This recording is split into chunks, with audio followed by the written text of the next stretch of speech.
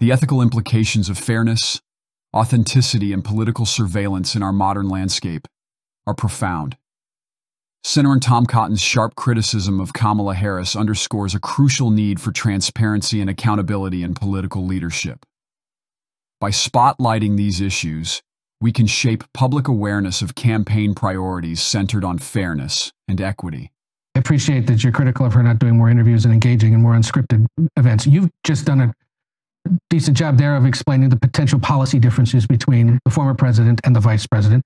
But Trump doesn't do that himself. No, he and, wants and to I dispute week- that. Well, but he wants, let's hold on a second. What earned him the most attention this week? Questioning whether or not the vice president is black. That became the big focus on him this week, instead of those conversations about policy that you suggest should be the focus of the But no, campaign. no, Ed, I dispute that. I, I watched his uh, conversation at the National Association of Black Journalists. I watched last night at his rally in Georgia. The vast majority of that time is spent contrasting his record of peace and prosperity and the Biden Harris record of high inflation and a wide open border and war and chaos around the world. I know you, you played a clip of him airing differences with other Republicans, but the vast majority of it was what you showed at the beginning of this show when he talks about Kamala Harris' record of being a radical trans activist or wanting to ban cows or ban oil and gas production.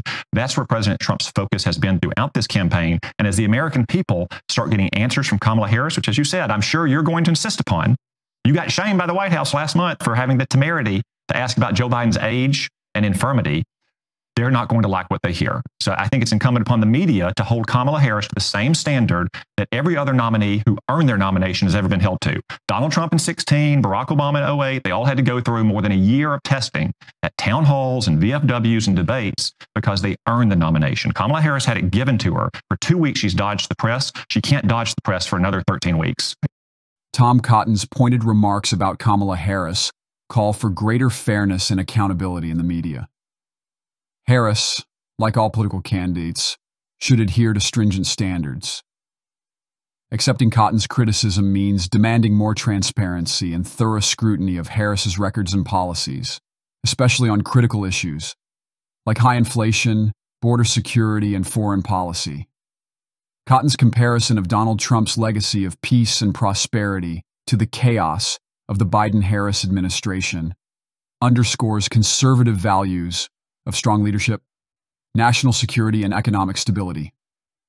This comparison questions the authenticity of Harris's campaign and raises ethical concerns about how the media presents and scrutinizes her.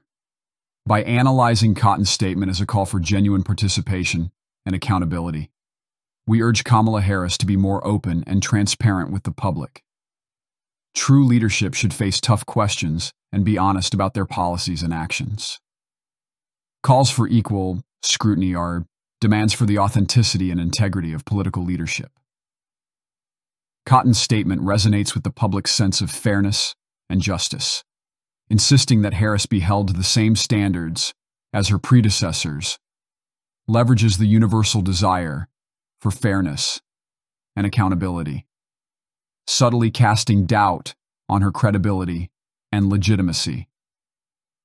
Discussions about Donald Trump's emphasis on policy differences rather than race seek to counter media narratives and shape public awareness of campaign priorities.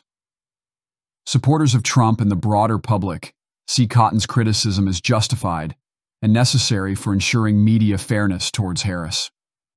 They deeply appreciate Cotton's focus on policy issues and his endorsement of Trump's election strategy,